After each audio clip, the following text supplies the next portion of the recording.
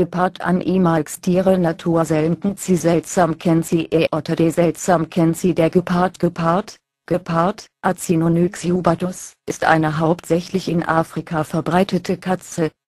Die in ihrem Jagdverhalten hochspezialisierten Geparden gelten als schnellste Landtiere der Welt. Gestalt und Körperbau der Art unterscheiden sich deutlich von anderen Katzen, außerdem weist das Jagdverhalten zahlreiche eher für Kaniden typische Merkmale auf. Daher wird der Art traditionell eine Sonderstellung unter den Katzen eingeräumt. Genetische Untersuchungen zeigten jedoch, dass diese entwicklungsgeschichtlich nicht gerechtfertigt ist, die nächsten Verwandten des Gepards sind amerikanische Katzen, Pumas, der Gattungsname Acinonyx kommt aus dem Altgriechischen und besteht aus den Wortteilen Ateakinetos, unbeweglich, sowie Onyx, Kralle. Geparde Das Fell des Gepards hat eine gelbliche Grundfarbe, wobei die Bauchseite meist deutlich heller ist. Es ist mit schwarzen Flecken übersät, die deutlich kleiner sind als die eines Leoparden und keine Rosetten bilden. Das Gesicht ist dunkler und ungefleckt, trägt aber zwei schwarze Streifen, die von den Augen zu den Mundwinkeln laufen, Tränenstreifen. In Bezug auf die Fleckung ähnelt der Gepard zwar dem Leoparden, in seiner Gestalt unterscheidet er sich jedoch beträchtlich von diesem wie auch von allen anderen Katzen. Geparde haben extrem lange, dünne Beine und einen sehr schlanken Körper, der dem eines Windhundes sehr ähnelt. Der Kopf ist klein und rund, der Schwanz lang. Die Pfoten tragen dicke, schuppige Sohlen, die Krallen sind nur bedingt einziehbar, daher der Gattungsname. Aufgrund seines Körperbaus ist der Gepard das schnellste Landtier der Welt. Er erreicht im Lauf bis 112 km pro Stunde, kann diese hohe Geschwindigkeit aber nur etwa 400 Meter durchhalten. Die Anatomie des Gepards ist auch in weiteren Punkten auf Schnelligkeit ausgelegt. Seine Nasengänge sind erheblich verbreitert, so dass wenig Platz für das Gebiss bleibt, das gegenüber anderen Katzen stark verkleinert und damit eine relativ schwache Waffe ist. Auch Lungen, Bronchien und Nebennieren sind proportional stark vergrößert. Gepard im Ngorongoro-Krater, Tansania, Ostafrika. Ein Gepard erreicht eine Kopfrumpflänge von 150 cm, hinzu kommen 70 cm Schwanz. Die Schulterhöhe beträgt 80 cm. Trotz dieser stattlichen Größe bringt er es nur auf ein Gewicht von 60 kg. Nach neueren Untersuchungen gibt es nur zwei Unterarten oder gar nur zwei Populationen, nämlich den afrikanischen und den asiatischen Gepard. Zugleich stellte man eine auffällig niedrige genetische Variabilität mit Inzuchtraten fest, die beinahe denen von Labormäusen entsprechen, demzufolge vermutete man, die Geparde könnten auch gegenüber Krankheiten und Umweltveränderungen anfällig sein.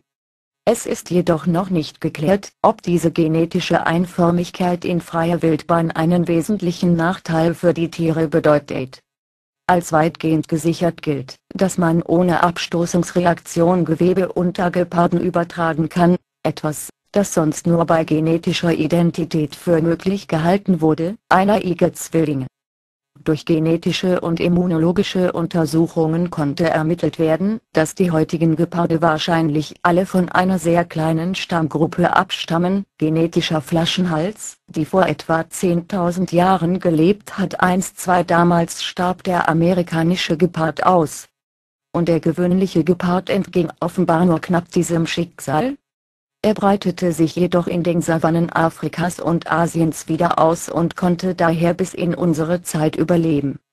Diese Untersuchung genießt in Fachkreisen hohes Ansehen und wird mittlerweile als klassisches Beispiel in der Populationsgenetik benutzt. Verbreitungsgebiet und Lebensraum bearbeiten Verbreitungsgebiet des Geparden, hell, ausgestorben, mittel, geringe Bestandsdichten, dunkel, mittlere Bestandsdichten, rot hohe Bestandsdichten starke Bejagung führte zum Niedergang des asiatischen Geparden. Der Gepard war einst über fast ganz Afrika mit Ausnahme der zentralafrikanischen Waldgebiete verbreitet, außerdem waren Vorderasien, die indische Halbinsel und Teile Zentralasiens besiedelt. Heute ist er fast nur noch in Afrika südlich der Sahara anzutreffen. In Asien gibt es winzige Restbestände, die am Rande der Ausrottung stehen, siehe Unterarten. Geparde sind reine Savannen- und Steppentiere. Sie bevorzugen Bereiche mit hohem, Deckung bietendem Gras und Hügeln als Ausschaupunkten. Zu viele Bäume und Sträucher machen eine Landschaft für Geparde ungeeignet, da sie dort ihre Schnelligkeit nicht ausnutzen können. In Halbwüsten kommen Geparde dagegen gut zurecht, wenn sie genügend Beutetiere finden. Systematik bearbeiten Interne Systematik bearbeiten Man Unterschied Bisher üblicherweise sieben Unterarten des Gepards, von diesen leben fünf in Afrika und zwei in Asien. Alle Unterarten müssen als gefährdet eingestuft werden, besonders bedroht, oder bereits ausgestorben, sind die folgenden Unterarten, mittlerer Punkt, Ayoteki, Nordwestafrika südlich der Sahara, kleine Restbestände, Mittlerer Punkt, AJ venaticus, asiatischer Gepard, einst von Nordafrika nördlich der Sahara über Zentralasien bis Indien verbreitet, heute nur noch Iran. Es gibt nach Schätzung der iranischen Umweltbehörde etwa 60 bis 100 Tiere im Norden des Iran, vor allem im Kavir-Nationalpark dem Tora-Nationalpark, dem Naibandan-Wildreservat und zwei weiteren Reservaten um die Kavir-Wüste. Um den Schutz der stark vom Aussterben bedrohten Unterart zu verbessern, wurden einige Tiere mit GPS-Halsbändern ausgestattet. Drei die vier weiteren Unterarten sind, mittlerer Punkt, AJ jubatus, südliches Afrika mittlerer Punkt, AJ trainai, Kenia mittlerer Punkt, AJ ngorongorensis, Ost- und Zentralafrika mittlerer Punkt, AJ Semmerengii, West- und Zentralafrika ein Königsgepard Gepard im Zoo von Singapur als Weitere Unterart des Gepards galt lange der Königsgepard, ein Tier, dessen Existenz bis 1975 angezweifelt wurde. Die Flecken sind bei ihm zu Längsstreifen verschmolzen. Inzwischen steht fest, dass es sich hierbei nicht um eine Unterart, Adiotrex, sondern um eine seltene Mutation handelt, die über ein rezessives Gen vererbt wird in einem Wurf können sich normal gefleckte Geparde zusammen mit Königsgeparden befinden.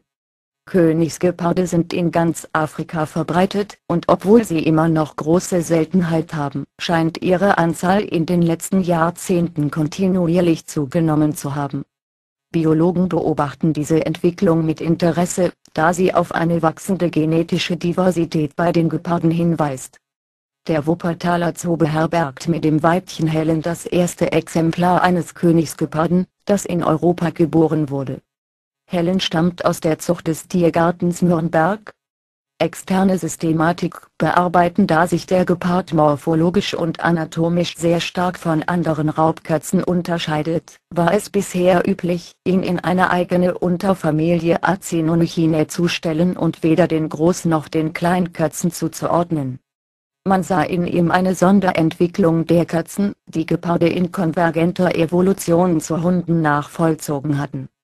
Neue genetische Untersuchungen haben aber zu der Erkenntnis geführt, dass der Gepard den anderen Katzen doch nicht so fern steht und seine nächsten lebenden Verwandten mit ziemlicher Sicherheit der Puma und der Jaguarundi sein dürften. Der amerikanische Gepard, Miracinonyx, des Pleistozäns wurde bis vor kurzem für einen nahen Verwandten des rezenten Gepards gehalten.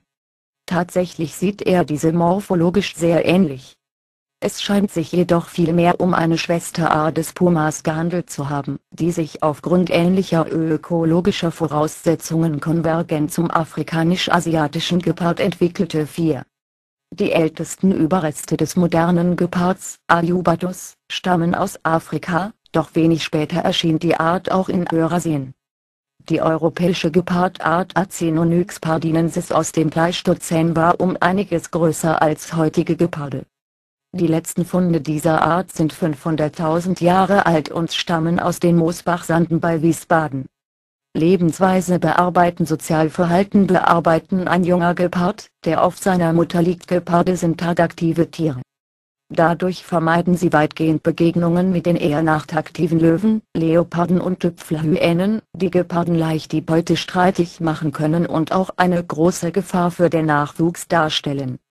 Sie sind geselliger als die meisten anderen Katzen. Die Weibchen leben meistens allein, mit Ausnahme der Zeit, in der sie junge